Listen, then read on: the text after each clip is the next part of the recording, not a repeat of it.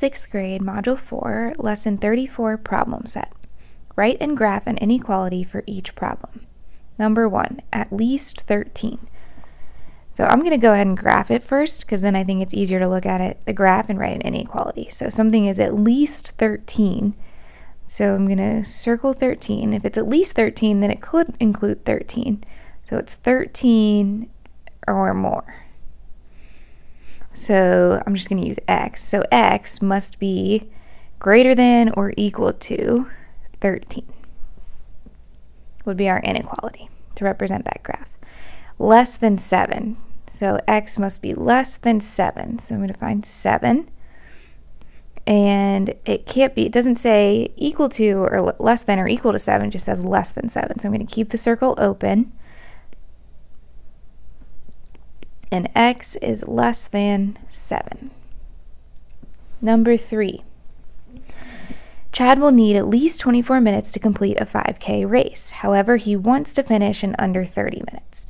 So he needs at least 24 minutes.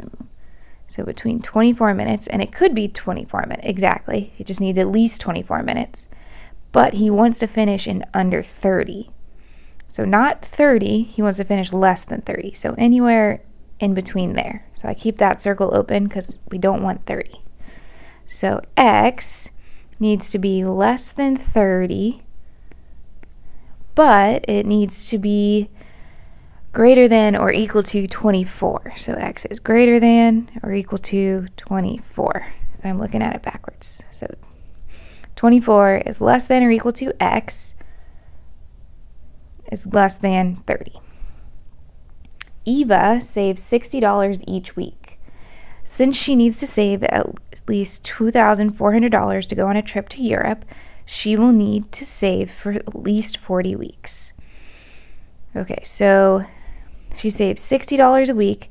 She needs to save at least 2,040 weeks, and she needs to save for at least 40 weeks.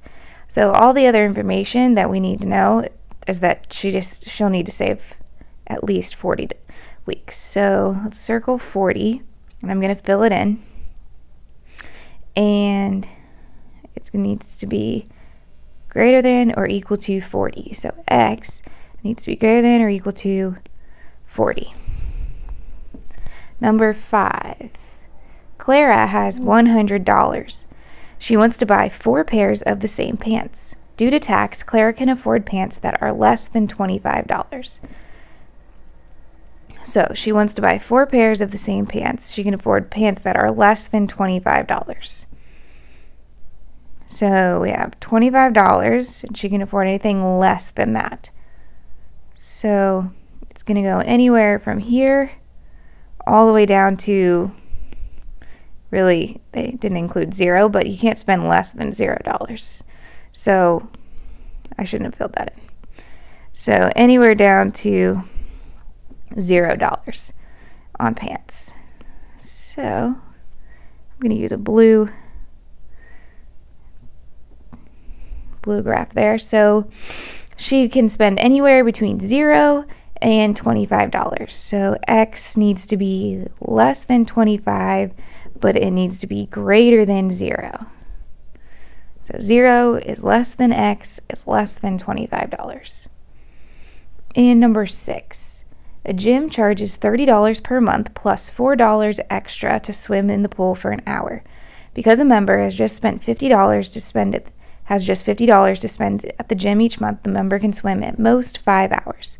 So they can swim at most 5 hours or they could swim 0 hours. So between 5 and 0. But they don't have to swim 0 hours.